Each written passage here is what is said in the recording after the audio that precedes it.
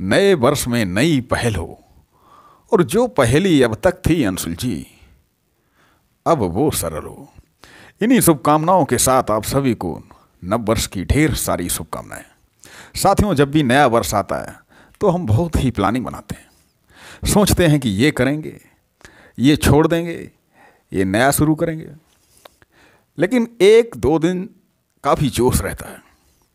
लेकिन जैसे जैसे धीरे धीरे तारीख बढ़ती है और हम फिर वही पुराना ठहरा साथियों, जितना कठिन नई आदतों को, अच्छी आदतों को शुरू करना है, उतना ही कठिन पुरानी आदतों को, बुरी आदतों को छोड़ना है।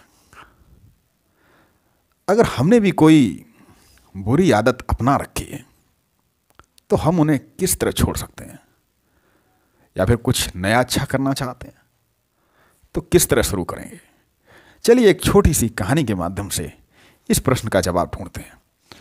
कहानी में आप हमारे साथ अंत तक जुड़े रहें, क्योंकि कहानी काफ़ी इंटरेस्टिंग है। कहानी सरल है, लेकिन संदेशप्रद। लेकिन उससे पहले, अगर आपने अभी तक हमारे चैनल को सब्सक्राइब नहीं किया तो साथियों, नीचे दिया गया बटन सब्सक्राइब का, उसको आप दबा दें। साथ में बेल आइकॉन भी दबाएँ कि जैसे कि हम आगे जो भी वीडियो बनाएँ, वो आप तक पहुँचें। चलिए कहानी शुरू करते हैं। एक किसान होता है। और उसके तीन बेटे होते हैं। तो किसान के बेटे जैसे जैसे बड़े होते हैं, किसान अपने बच्चों के बारे में, बेटों के बारे में सोच सोच कर बहुत ही चिंतित होता है। क्योंकि उसके बच्चों ने, उसके बेटों ने सब बुरी आदत ही अपना रखी है। कोई भी अच्छी आदत नहीं है।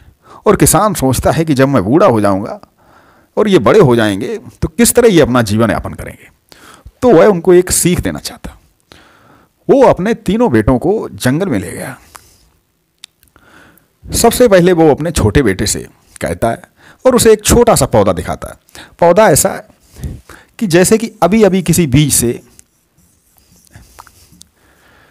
अंकुरित हुआ हो। किसान कहता है कि तुम्हें इस पौधे को उखाड़ना है।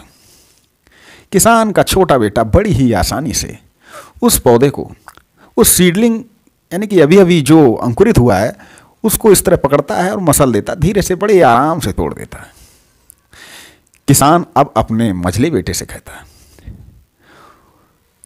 उसको एक पेड़ दिखाता है और वह पेड़ कम से कम छः से सात महीने पुराना है और वो पेड़ काफ़ी थोड़ा बड़ा है।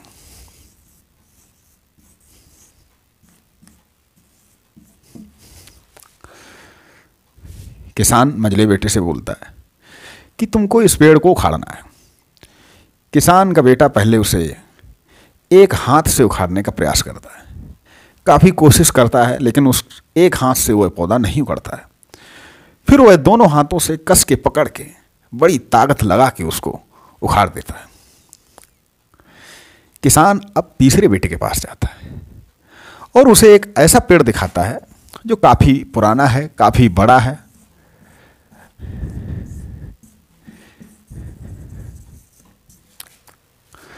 किसान कहता है कि तुम्हें इस पेड़ को उखाड़ना है। बड़ा बेटा कहता है, अरे पिताजी, क्यों मज़ाक करते हो? क्या इस पेड़ को उखाड़ा जा सकता है? किसान बोला, क्यों? तुम्हारे भाइयों ने तो इन पेड़ों को उखाड़ दिया बड़ा बेटा कहता, अरे पिताजी, जो हमारे भाइयों ने जो पेड़ उखाड़े हैं, वो नए हैं। उनकी जड़ें ज़्यादा गहरी नहीं है। लेकिन आप जिस पेड़ को उखाड़ने को बोल रहे हैं, ये पेड़ काफ़ी पुराना है और इसकी जड़ें भी काफ़ी गहरी हैं। काफ़ी गहराई तक इसकी जड़ें फैली हुई हैं। अब इस पेड़ को खाड़ना नामुमकिन है। किसान बोला, बेटा, इसी तरह, तुमने जो बुरी आदतें अपना रखी हैं, तुम चाहो तो अभी उनको छोड़ सकते हो, क्योंकि ये आदतें अभी नहीं हैं। इनकी जड़ें अभी गहरी नहीं हैं, लेकिन जैसे जैसे समय बीतेगा, इस पेड़ की तरह तुम्हारी वो बुरी आदतें तुम्हारे अंदर काफ़ी गहराई तक अपनी जड़ जमा लेंगी। उसके बाद उन बुरी आदतों को छोड़ना बहुत मुश्किल होगा और तुम्हारा जीवन दुखदाई होगा। किसान के बेटों को अपने पिता की बात समझ में आई। उन्होंने समझा कि बुरी आदतों को जितनी जल्दी हो सके छोड़ देना चाहिए, तभी वो छूटती हैं। समय बीतने के बाद फिर उनको छोड़ना काफ़ी मुश्किल होता। है तो दोस्तों, अगर कहानी का संदेश आप तक पहुँचा हो, कहानी अच्छी लगी हो तो अपने साथियों को, अपने दोस्तों को शेयर ज़रूर करें। और हम चाहेंगे कि नव वर्ष में आप अच्छी आदतों को स्वीकार करें, उन पर चलें और जीवन में नित नई खुशियाँ पाएँ। इन्हीं शुभकामनाओं के साथ फिर मिलते हैं एक नई कहानी में। तब तक के लिए नमस्कार। चल, और चलते चलते ये दो पंक्तियाँ। हे, आती रहेंगी बहारे, हो हो। जाती रहेंगी बहारे।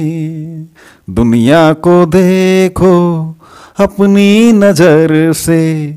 दुनिया ये कितनी हँसी है। हो हो, आती रहेंगी बहारे। हे हे, जाती रहेंगी बहारें।